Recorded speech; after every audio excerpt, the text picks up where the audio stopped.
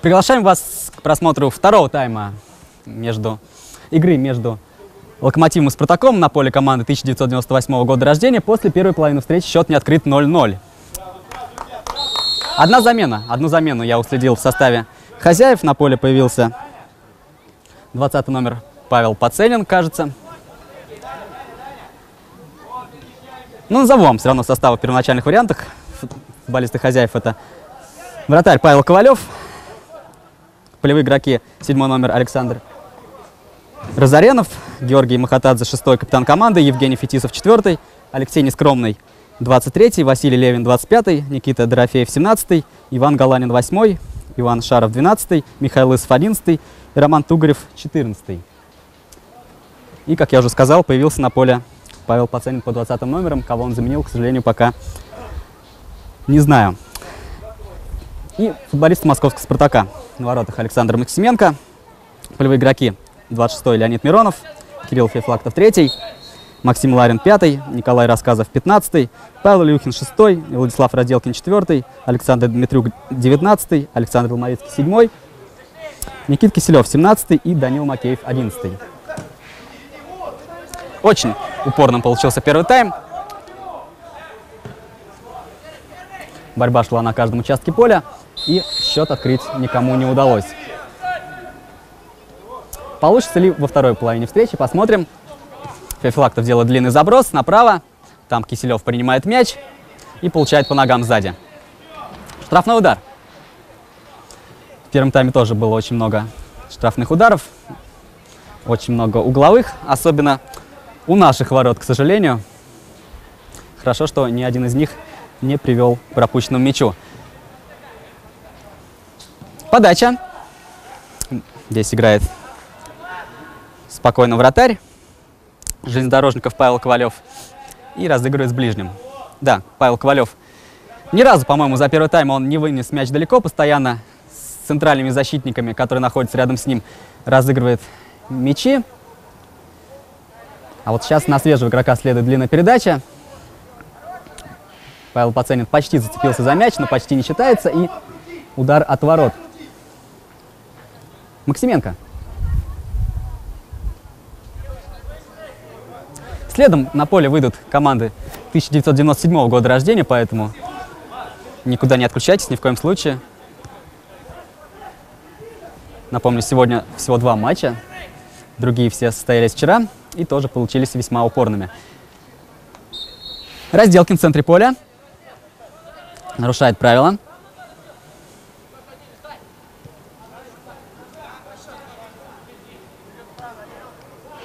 Махатадзе. Фетисов, вновь Махатадзе. Длинный заброс. Кому-то надо играть.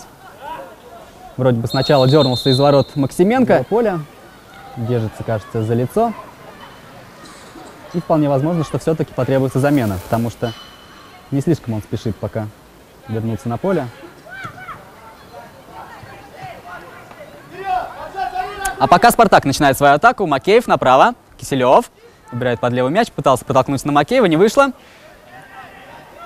Перехватывает железнодорожники мяч пытается убежать в ответную контратаку, обыгрывает в центре поля и здорово в подкате. Играет, кажется, это был Миронов. Ломовицкий на левом фланге. Смещается в центр. Трех прошел, получает по ногам штрафной удар. Штрафной удар на самой линии штрафной площади.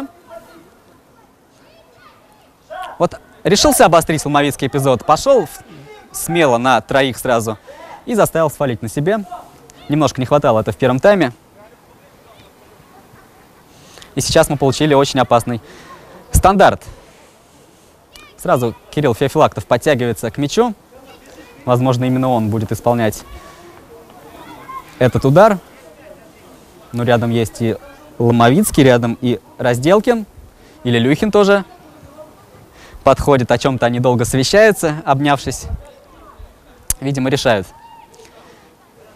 кто будет исполнять, да и что вообще последует. Потому что угол все-таки немножко так островат, как кажется, для прямого удара. Хотя вполне можно закрутить ближнюю девятку.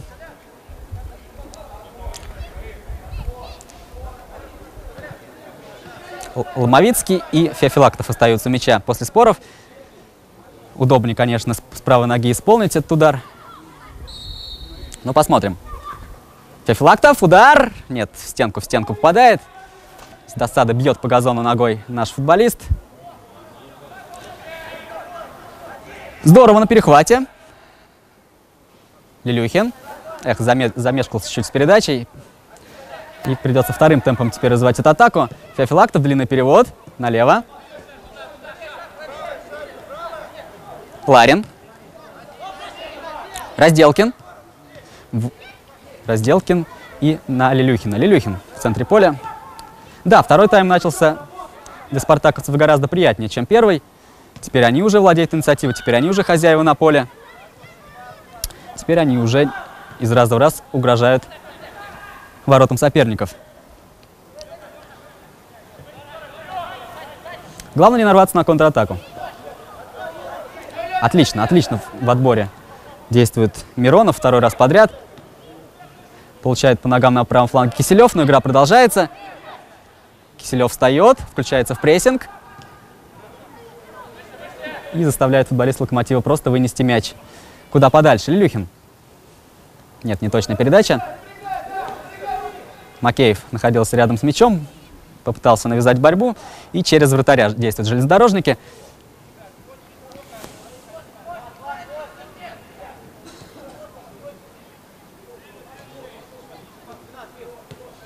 И снова мы смотрим действие под названием перекатывание мяча в центре поля двумя центральными защитниками Локомотива.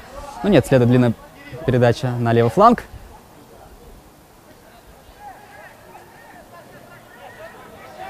Плотно действуют наши защитники у своей штрафной. Подача. Надо пособранней. И хорошо, отбились.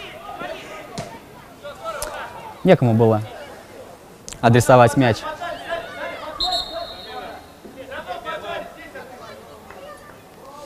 Разделкину и просто выбивает он вперед. А у футболистов Локомотива еще одна замена. Дмитрий Рабчинский появляется на поле.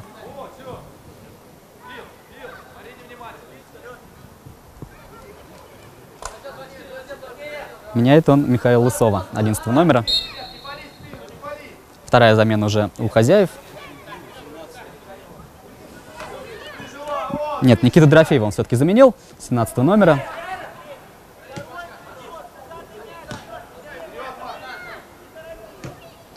А наши футболисты пока по-прежнему обходятся без изменений в составе.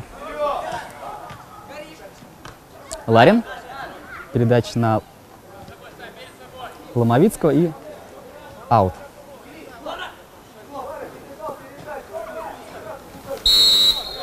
Дмитрюк ставил корпус, подтолкнули его в спину, быстро спартаковцы разыграли мяч. И судья просит перебить, потому что удар выполнялся по катящемуся мячу. Миронов. Фефилактов. Разделкин в центре. Переводит направо. Нет, не дойдет передача. Это до Киселева. Предугадал развитие событий защитник хозяев и перехватил мяч. Но Разделкин включился в борьбу. Здорово сыграл в отборе. Дмитриук в центре. Нет, нет, нет. Это плохая передача на Макеева. Не имела она ни малейшего шанса дойти до адресата. Аут. Миронов.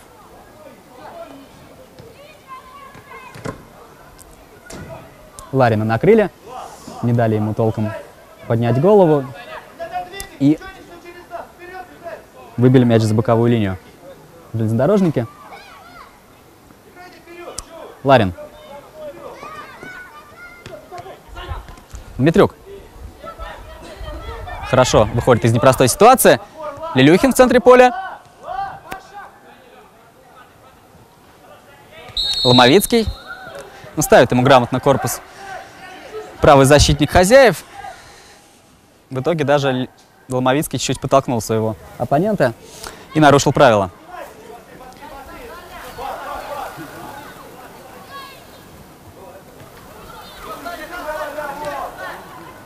Махатадзе.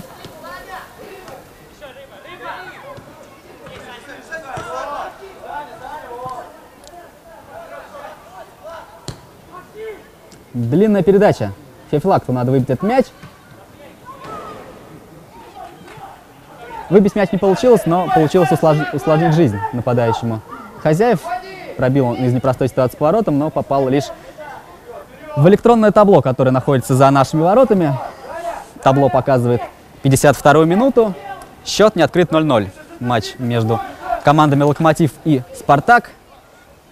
Команды 1998 года рождения. Летнее первенство Москвы по футболу. Лилюхин. Хорошая передача на Ломовицкого. Ломовицкий. Ох, как здорово Ломовицкий сейчас действует. Разобрался в сложнейшей ситуации. Прокинул себе мяч на ход и уткнулся в спину защитника. И, естественно, это нарушение правил. Блокировочка была такая небольшая. Лилюхин не спеша подходит к мячу. Будет выполнять подачу в штрафную площадь.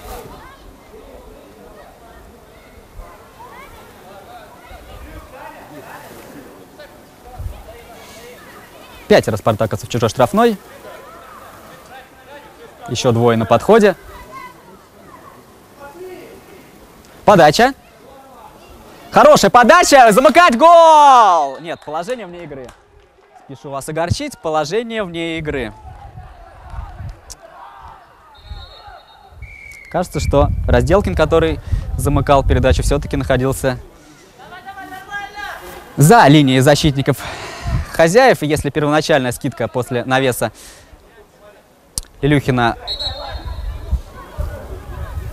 была из верного положения, то замыкавший партнер находился все-таки, наверное, в офсайде. По крайней мере, так решил боковой арбитр. И, к сожалению, этот гол у «Спартака» отняли.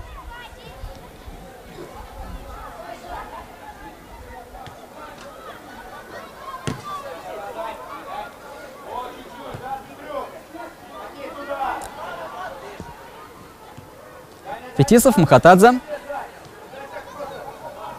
Галанин. Галанин стеночку. Хорошо играет футболист Локомотива.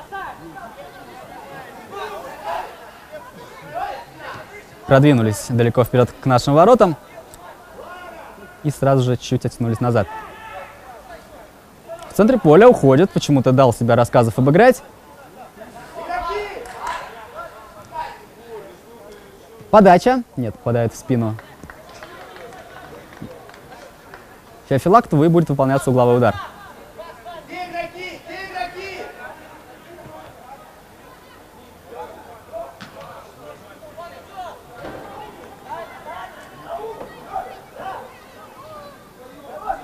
Пятьдесят пятая минута. У нас идет.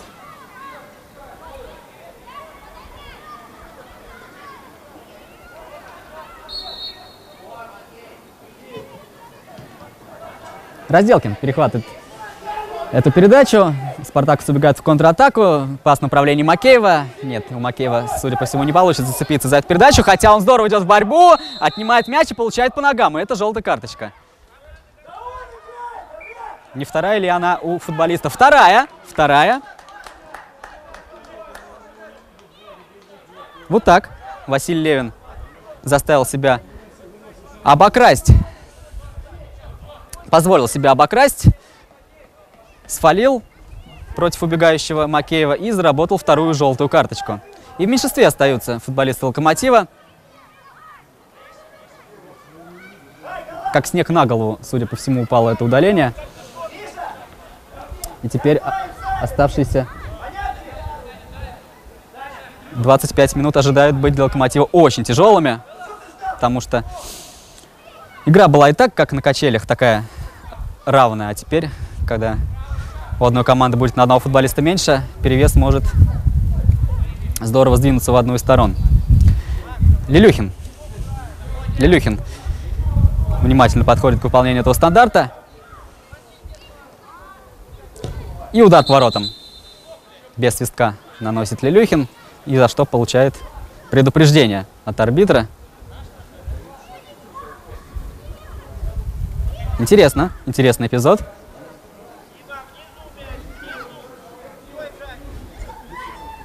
С одной стороны предупреждение, а с другой стороны еще одна попытка исполнить стандарт.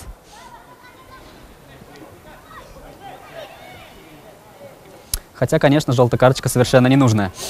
Еще раз указывает на свисток, в своих, который находится у него в руках главный арбитр встречи, Лилюхину, чтобы наверняка понял,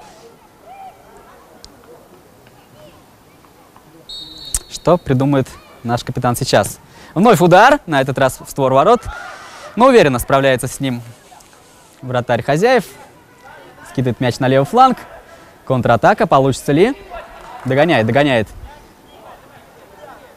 Никита Киселев оппонент позволяет убежать в контратаку. Максименко должен забрать мяч. Наверное, с ближним стоит разыграть. Феофилактов. Поднимает голову, ищет партнеров. Увидел Ломовицкого, делает на него передачу. Подбор за спартаковцами. Разделкин немножко неаккуратно, небрежно так обрабатывает отскочивший мяч. Слишком высоко вверх его подбивает, и спартаковцы мяч потеряли. Неплохо. Из непростой ситуации уходит 12 номер железнодорожников. Получается у них опасная контратака.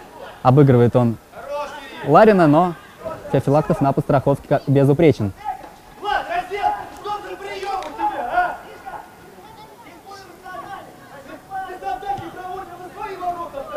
Высказывает претензии Владимир Джубанов Разделкину за тот самый эпизод в центре поля, когда неаккуратно он подработал мяч.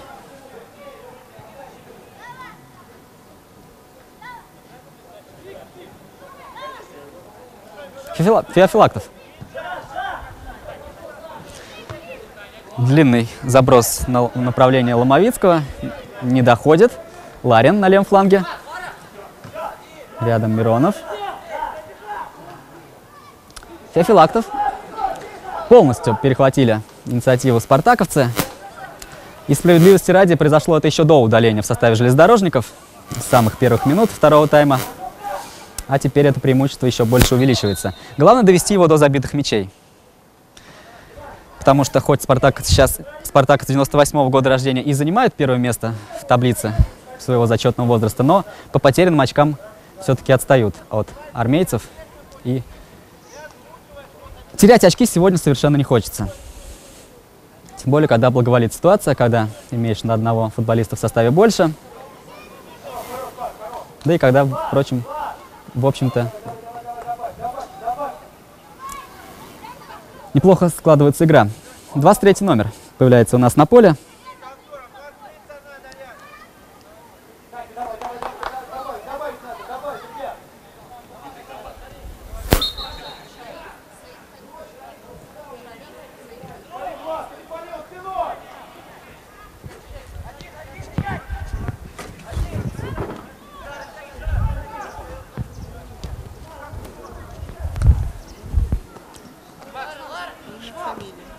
Сариф Сейхаджа вышел у нас на поле.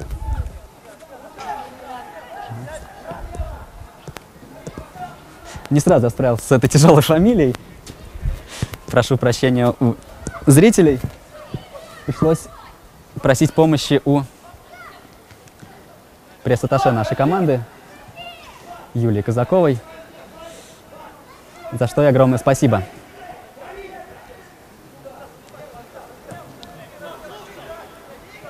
Вперед, смотри, что это защитники могут сделать. Вот как раз свежий игрок нашей команды с мячом. Вновь получает мяч Сейхаджа. Подрабатывает под правую. Передача на правый фланг. Киселев. Нет, прерывает защитник хозяев эту передачу Киселева и будет угловой удар.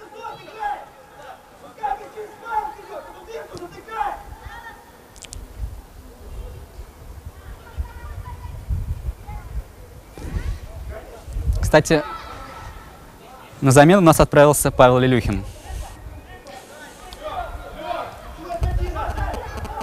Один из самых активных игроков, я считаю, в нынешнем матче.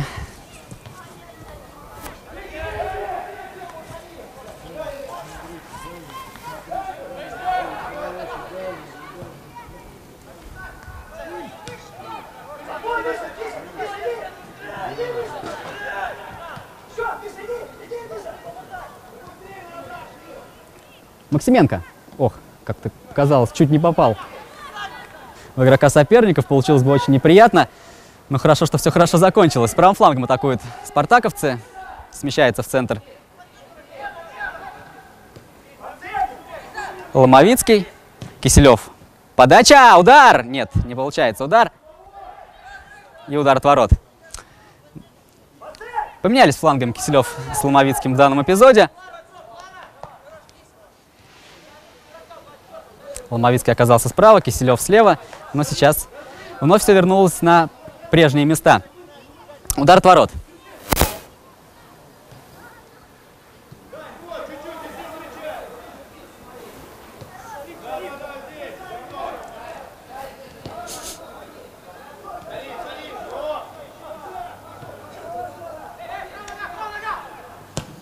Ну, вообще надо бы, конечно, поторопиться нашим футболистам, потому что играть остается еще чуть более 17 минут, а очень хочется забитых мячей. Напомню, играем мы в большинстве после удаления Василия Левина в начале второго тайма. Но счет пока открыть не удается. 0-0. Ломовицкий. Насей Хаджа чуть назад. Феофилактов направо, Рассказов.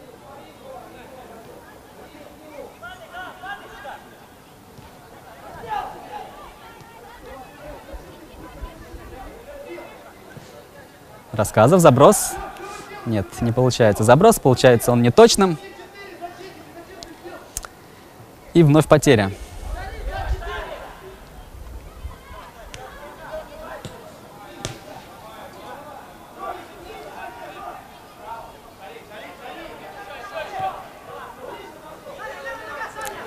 Потихонечку спартаковцы включают и прессинг, понимая, что все-таки надо каким-то образом забивать.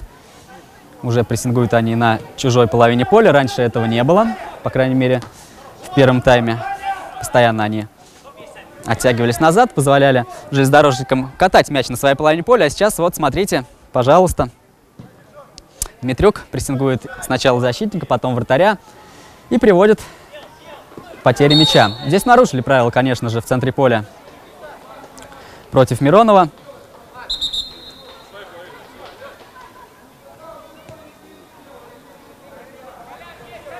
Сейхаджа направо, рассказывал.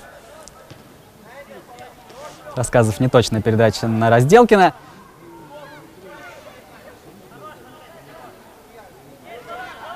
И вновь придется действовать в отборе. Как-то отбирать мяч. Хорошо, что Локомотив в данном эпизоде сам отдал нам. Феофилактов. Рассказов. Рассказов. Есть у него перед ним свободное пространство. Решает сделать он пас в центр. И получается он неточным. Очень неудачный пас. И слабый, и в недодачу. И очередная потеря. А футболист Локомотива отвечает взаимной любезностью, запуская мяч за боковую линию. Успокоилась игра как-то у нас. Давно уже никто никого не тревожил опасными острыми ситуациями. Постоянно невынуждены потери и минимум, минимум ударов по воротам. Ларин. Снова неточная передача. Снова ошибка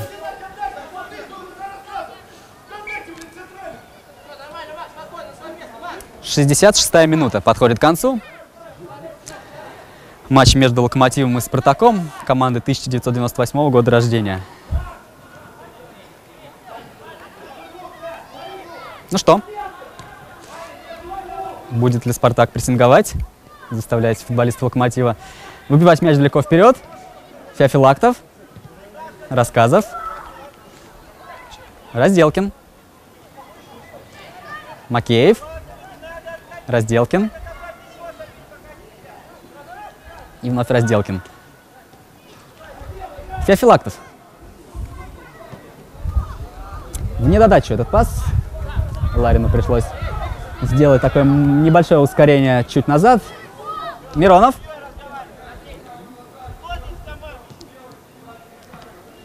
Рассказов на правом фланге.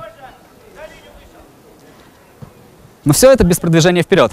Перекатывание мяча, контроль мяча – это хорошо, но без продвижения. Длинный заброс и потеря. Аут в пользу локомотива.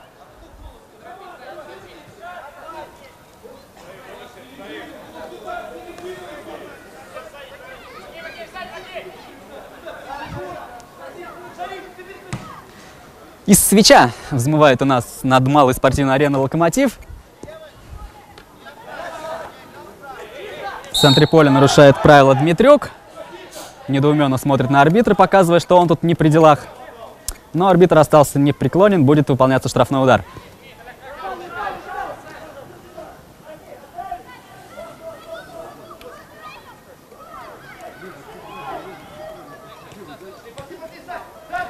На кратке футболисты Локомотива разыгрывают мяч.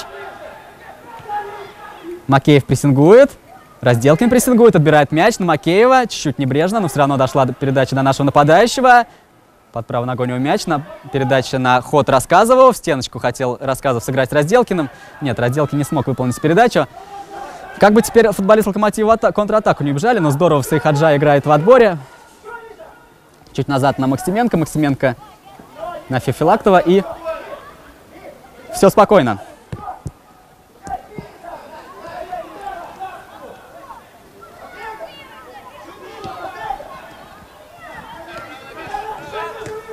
Ларин. Сайхаджа. Дмитрюк. Наступает на мяч. Немножко теряет скорость.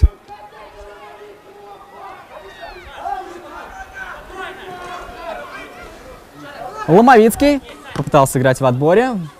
Да, все правильно делают спартаковцы, не дают спокойно катать мяч на своей половине поля футболистам Локомотива. Мы знаем, что они делать это могут долго. Тем более сейчас, когда играют в меньшинстве. И замена. Или не замена, или просто нужно покинуть пределы поля нашему футболисту. Да, попросил главный арбитр встречи Разделкина обратиться к медперсоналу. Видимо, что-то подкле- что-то подклеить надо ему. Кровь, наверное, на ноге выступила. Но сейчас вернется на поле, все будет в порядке.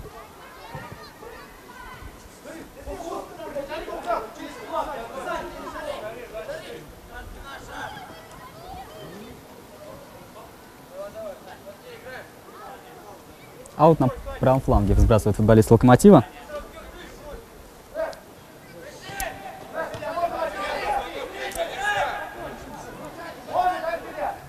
Макеев прессингует голкипера. Кипер выбивает мяч в аут. Возвращается Разделкин на поле.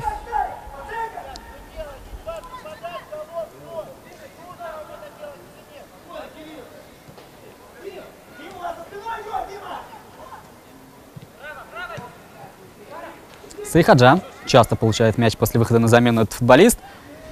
Ломовицкий обыграл, подача. Кто-нибудь допрыгнет? Нет, не допрыгнул никто. Вынос. Феофилактов.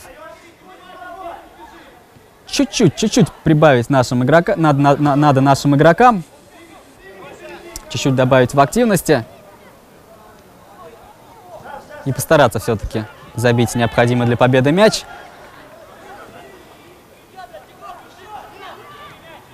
Лежит, лежит наш футболист у чужой штрафной, и надо кому-нибудь выбить мяч за пределы поля. Возвращают железнодорожники нашим футболистам мяч. Потихоньку уже подтягиваются к полю и старшие ребята, ребята 1997 года рождения, кому играть следующим. Ломовицкий скидывает мяч на Сайхаджу, но получается не точно.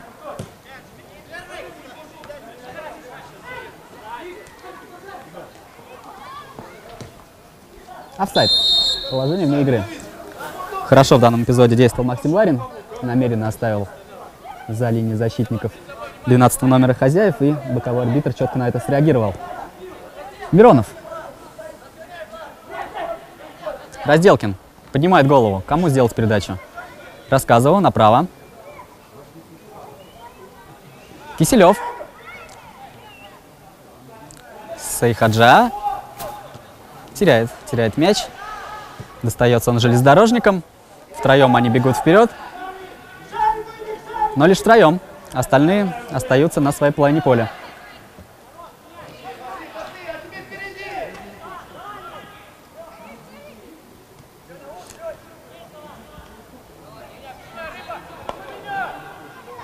Нескромный.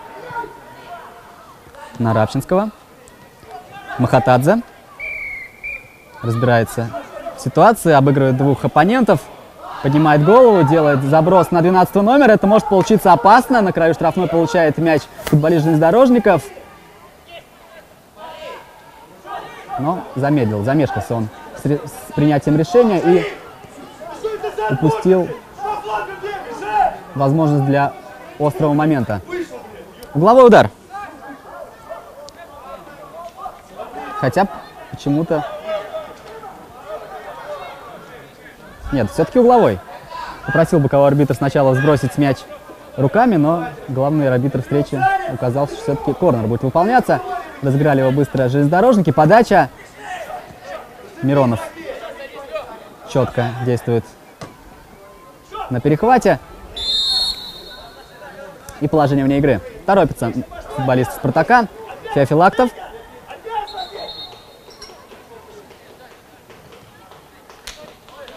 И просит перебить. Просит перебить этот стандарт. Антон Фролов. Рассказов. Феофилактов. Перевод. Неточный.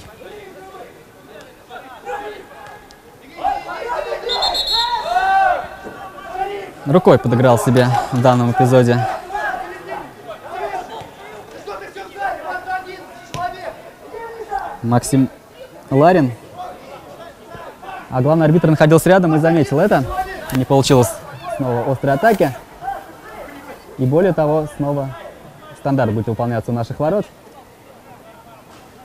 76 минута игры у нас идет. Совсем ничего еще. Играть и счет не открыт, 0-0.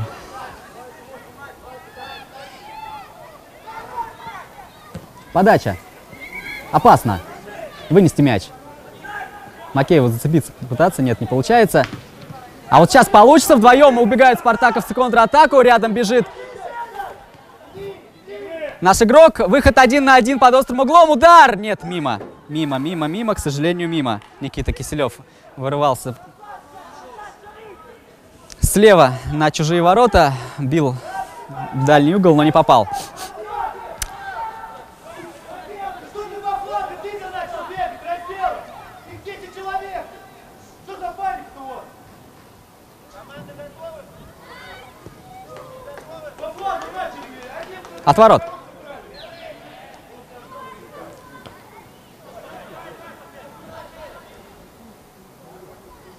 Рассказов в отборе. Прекрасно в отборе, получает сзади по ногам.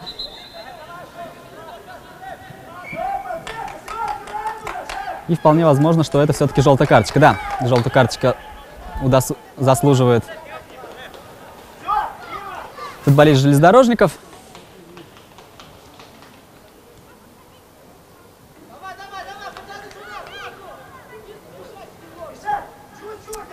Но вновь у нас пауза, пауза в игре. Сейчас, когда время просто тает совершенно ненужное.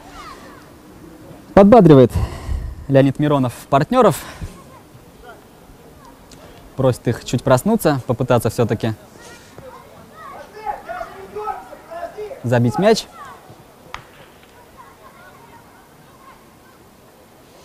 А пауза у нас продолжается. О чем-то посвящался Антон Фролов с помощником. Подбежал к футболисту железнодорожников, что-то ему сказал. Игра продолжилась. Ларин на левом фланге. Миронов, вновь без продвижения вперед. Феофилактов. Рассказов на правом фланге.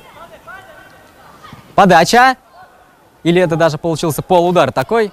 В створ ворот мяч шел. Впрочем, вратарь хозяев спокойно мяч поймал. Длинный вынос. который срезается, не получается. Здесь можно навязать борьбу.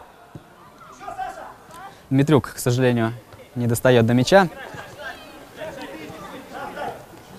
Ломовицкий. Нет, не удается обыграть ему.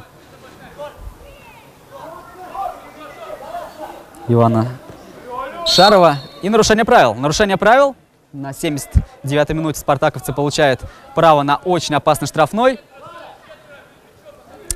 Сайхаджа, судя по всему, судя по тому, как он уверенно взял мяч, будет исполнять этот стандарт. И огромным количеством спартаковцы начали подтягиваться в чужую штрафную площадь. У мяча Сайхаджа, у мяча Ломовицкий. Один правоногий, один левоногий. Кто будет выполнять подачу? Тает, тает время. Очень важно хорошо исполнить этот, это стандартное положение. Сайхаджа, подача! Нет. Далеко от партнеров пролетел мяч. Спокойно голкипер хозяев забрал его в руки. И вновь не получается выжать ничего опасного из стандартного положения. Достаточно наша команда подала их во втором тайме. И, к сожалению, действительно острых ситуаций возникало крайне мало. Однажды удалось нашей команде забить мяч, который был отменен из-за офсайда. Хорошая передача на Киселев, Киселев, чуть назад под удар Сайхаджа, Сайхаджа, пас. Грамотно, грамотно действует в обороне железнодорожники. Прерывают постоянно вот эти короткие пасы от наших полузащитников. Не доходят они до Макеева. Сайхаджа. Ларин. Миронов. Разделкин. Рассказов направо Киселеву. Минутка, наверное, еще с учетом добавленного времени остается у спартаковцев. Все уже кричат, что время. Подача! Макеев подрабатывает на грудь, врывается в штрафную. Ну, Данил, прострел! Кто-нибудь замкните. Нет, не получается замкнуть. Выносит мяч. И на этом свисток, финальный свисток главного арбитра встречи. 0-0.